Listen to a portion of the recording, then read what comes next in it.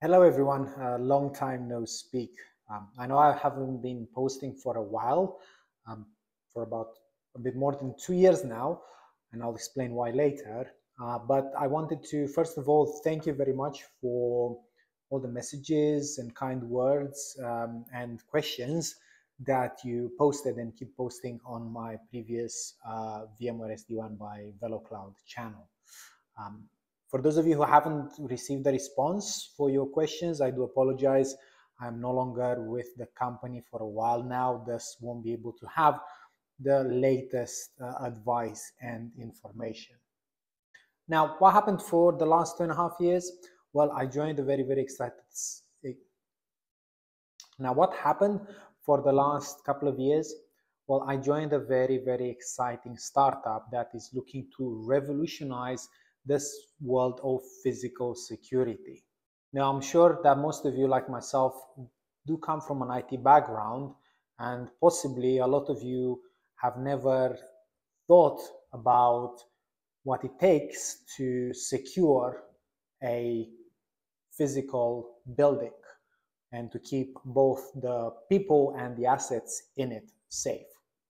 I personally had no clue, for example, uh, where the badge reader or the push to exit button were going or the complex systems that underpin an uh, enterprise security solution.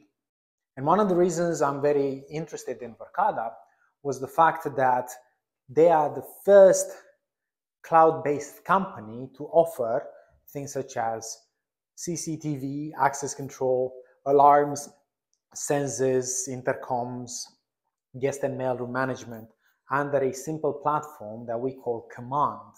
And this differs to the traditional physical security market, which is flooded by different players with some with very well-known names, uh, some more obscure, that all offer on-premise solutions that rely on having servers, network video recorders, databases, etc.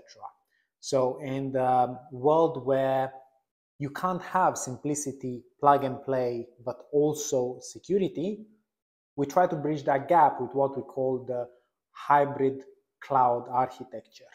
You still have those devices that you see behind me, but instead of relying on physical infrastructure in order to interact with your estate, you now split that function between the device itself and the cloud giving you not only things such as plug and play, scalability, and ease of use, but also at the same time increasing your security to things such as automatic firmware updates. So now your devices are no longer behind when it comes to their software code and thus vulnerable to certain attacks.